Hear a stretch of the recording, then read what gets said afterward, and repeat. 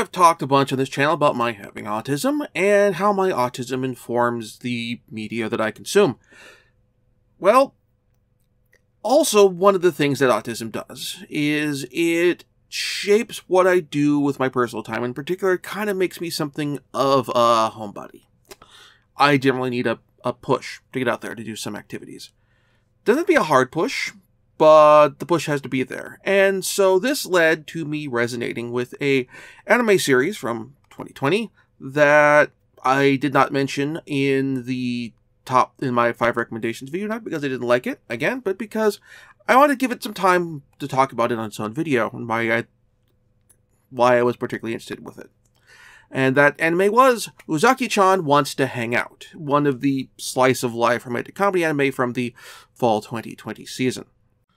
Uzaki-chan Wants to Hang Out follows Shinichi Sakurai. Sakurai is a third-year college student who has a intimidating appearance and is something of a loner, generally doing stuff by himself or with one of his friends. Um, Itsuhito Sakaki. I'm probably mispronouncing that. And then uh, one of Shinichi's underclassmen from high school, Hana Uzaki, starts attending his college.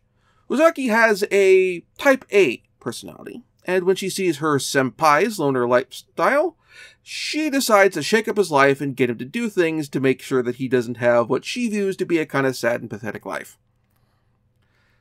Hilarity, of course, ensues.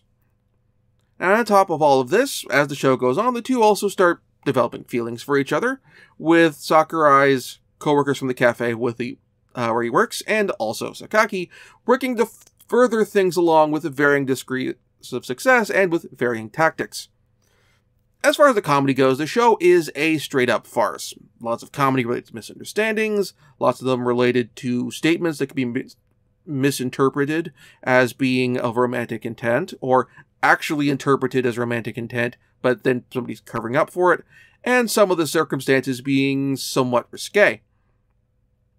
However, what the show doesn't do, and I do appreciate, is with a handful of exceptions, there is no heavy sexual slapstick. No Sakurai tripping and getting his head wedged in Uzaki's ample cleavage, no accidental copping a feel due to arms getting placed, um, swinging his arm and accidentally grabbing a boob, nothing like that. There is humor made about Uzaki's chest, but it is nowhere near remotely close to the level of Lucoa from Dragon Maid. I mean that both in the sense of the size of Uzaki's chest and also in terms of the, the level of the jokes made about Uzaki's chest. Indeed, um, a lot of the humor of the show is dialogue focused, like completely dialogue focused, banter, that sort of thing. Um, with the side of some mild slapstick, but that's mainly around Sakurai getting teased. A great example of this is a scene with Uzaki and Sakurai who are sitting on a bench eating candy, where Sakurai does, mentions that he doesn't like chocolate mint because he thinks it tastes like toothpaste, and before later admitting, when pressed by Uzaki, that he hasn't actually had much chocolate mint, it's just what he's told. and told. This leads to a several minute long filibuster, very well animated by Uzaki speaking the praises of chocolate mint, which, as a person who himself very much likes chocolate mint, I found both deeply, deep, deeply agreeing with and also finding utterly hilarious, especially with the payoff at the end of the sequence. In short, as a person who needs a someone like Uzaki in their life, and not just I mean this in like a quote unquote romantic sense, but in terms of as a peer, as a friend, as that sort of thing. Um, even outside of the whole thing of the fact that we're in a global pandemic that incentivizes us being a, a homebody. Because if you're on currently as things are this recording being a homebody is a homebody is a survival trait.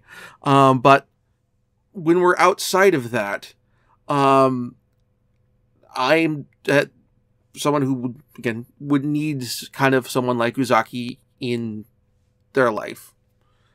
And normally does. Normally has people like that who i hang out with um, this show resonated with me a lot, and particularly more so, again, this past year. I consequently really dug this show, and I'm glad that it came out, and I'm also hoping that the show gets a second season. because I enjoyed the first one. I believe it is has been greenlit for a second season. Um, in any case, it is currently available both subbed and dubbed on Funimation. I will have a link to where you can watch it on the show notes. Um, if the DVD or Blu-ray is available for pre-order as well, I will have affiliate links to that also um, in terms of picking it up.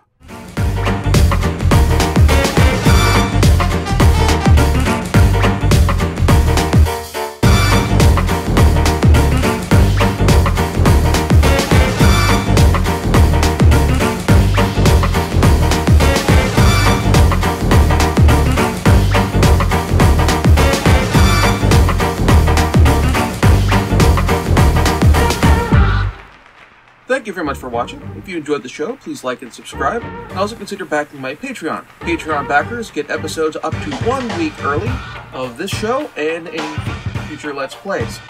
Also, please consider backing my Ko-fi. Uh, toss me a few bucks also helps support the show, and it's not a monthly obligation or anything like.